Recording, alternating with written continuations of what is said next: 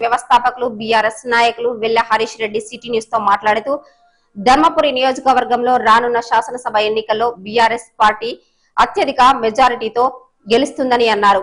ధర్మపురి నియోజకవర్గంలో వేల కోట్ల నిధులు తీసుకుని వేల కోట్ల నిధులు తీసుకుని వచ్చి నియోజకవర్గంలో అనేక అభివృద్ధి పనులు చేసిన ఘనత మంత్రి కొప్పుల ఈశ్వర్దేనని రానున్న ఎన్నికల్లో అత్యధిక మెజార్టీతో గెలుపొందుతారని అన్నారు. రాష్ట్రంలో అన్ని నియోజకవర్గాలకెల్లా ధర్మపురి నియోజకవర్గంలో అత్యధికంగా సీఎంఆర్ఎఫ్ కళ్యాణ లక్ష్మి షాది ముబారక్ ఇచ్చిన ఘనత మంత్రి ఈశ్వర్దేనని అన్నారు.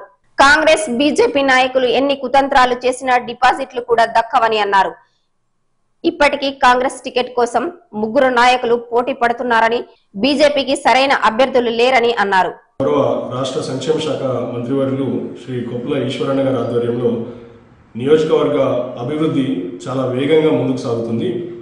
వారు మంత్రి అయినప్పటి నుండి ఇప్పటి వరకు సుమారు ఒక వెయ్యి కోట్ల రూపాయల విలువైనటువంటి అభివృద్ధి కార్యక్రమాలు చేపట్టిండ్రు. ఈ విషయం నేను తెలియక అంటున్న విషయం కాదు. గణాంకాలతో స్పష్టంగా తెలుసుకున్నటువంటి విషయం ఇది. మా అంటే నాకు తెలిసి సుమారు నూట యాభై నూట యాభై నూట అరవై గ్రామాలు ఉంటాయి మొత్తం నియోజకవర్గంలో.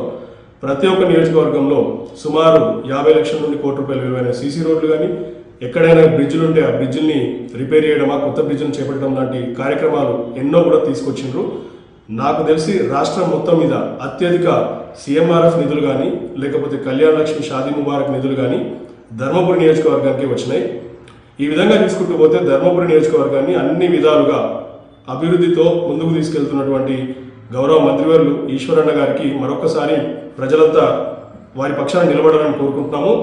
ఇక మీరు ప్రతిపక్ష పార్టీని చూసుకుంటే కాంగ్రెస్ పార్టీ నుండి దాదాపు నలుగురు అభ్యర్థులు ఒకరి కాళ్ళు ఒకరు గుంజుకుంటారు ఎవరికి మరి సీట్ వస్తుందో ఎవరికి ఎడగలేదు నాకు తెలిసి గతంలో నాలుగు సార్లు పోటీ చేసి ఈశ్వరన్న మీద చాలా ఎక్కువ మెజారిటీతో ఓడిపోయినటువంటి అభ్యర్థి లక్ష్మణ్ కుమార్ గారు అయితే నాకు తెలిసి ఈసారి కూడా కరాఖండిగా ఓడిపోవడం గ్యారంటీ.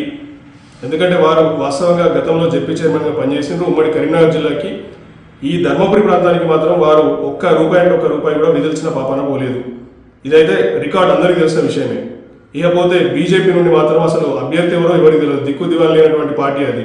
ధర్మపురిలో బీజేపీకి అభ్యర్థులు ఇడియాలంటే వరకు కూడా. ఏమో ప్రజలు ఇదంతా గమనించి మన అభివృద్ధికి ఆటంకం కలగకుండా ముందుకు సాగాలంటే మరొకసారి మంత్రి గారు మంత్రివర్యులు ఈశ్వరణ గారికి అవకాశం ఇవ్వండి. వారు మరొక పెద్ద పోస్టులో మళ్ళీ రాబోతున్నారు. వారు వచ్చినాక దీనికి ఇప్పుడు జరిగినటువంటి అభివృద్ధి కూడా రెండింతలు మళ్ళీ అభివృద్ధి చేసి చూపుతారని ఆశిస్తున్నాం. ఆ, ఈశ్వరణ గారికి మరొకసారి మీ మీరు అవకాశం ఇవ్వాలని